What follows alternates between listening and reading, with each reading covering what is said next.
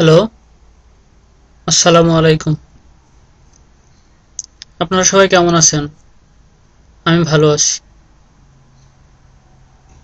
অনেকদিন ধরে আপনাদের সঙ্গে দেখা হয় না, কথা হয় না। সবাইকে ছেড়ে দেশে বাইরে চলে আসছি। অনেকদিনই হলো, তিন বছর হতে যাচ্ছে। আজকে পুরো তিন বছর হলো সাইপ্রাসে আসা আমার। আজকে উনত্রিশ তারিখ, আজকে তিন বছর হলো। দু হাজার আট সালের এই দিনে আমি সাইপ্রাসে এসে পৌঁছেছিলাম। সেদিনকার দিন, সেদিনকার কথাটা মনে পড়লে এখন খুবই আফসোস হয়। সেদিন সাইপ্রাসে আসলাম দেখতে দেখতে তিন বছর পার হয়ে গেল। তবে সাইপ্রাসে এসে খুব একটা খারাপ আছি তা মনে হয় না। ভালোই আছি দেশের থেকে। দেশে ফোন করলে বন্ধুরা বলে। তাদের কাছ থেকে মনে হয় যে এখানে আমি ভালোই আছি।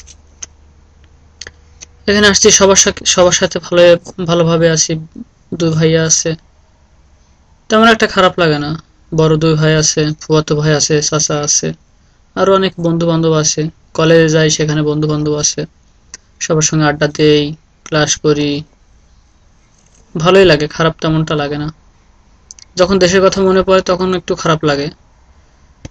বন্ধু বান্ধব আত্মীয় স্বজন বাবা মা খালারা, মামিরা, মামারা, সবাইকে সে সময় সময় খুবই মিস করি, সবাইকে মনে পড়ে। তখন মনটা খুবই খারাপ হয়। আর মাঝে মধ্যে কম্পিউটার খুলে যখন সকলের ছবি দেখি, তখন আমার মনটা ভালো হয়ে যায়। তখন মনে হয় দেশে যাইতে। আসলে বিদেশে এসে হঠাৎ করেই যখন ইচ্ছা তখন দেশে যাওয়া সম্ভব হয় না। যদিও মন চাই তো সম্ভব হয় না। এই সামনে বছর জুন মাসের দিকে দেশে যাচ্ছি। আল্লাহ যদি বাঁচায় রাখে, সুস্থ যদি থাকি তাহলে।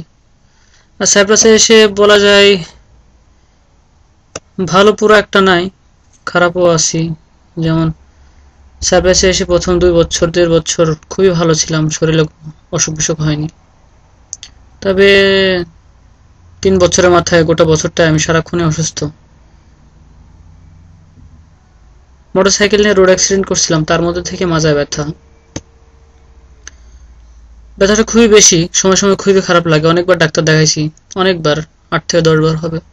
এক্স রে করাইছি তারা বলে, কোনো কিছু ভাঙে নাই বাট মাথার থেকে কোথায় থেকে যেন খুবই ব্যথা করে। কাজ টাজ করতে পারি না, দেখা যাচ্ছে এক সপ্তাহ কাজ করলে এক সপ্তাহ বসে থাকতে হয় ব্যথার জন্য। এভাবে দিন যাচ্ছে। শরীরটা মাঝে মধ্যে খুবই খারাপ থাকে।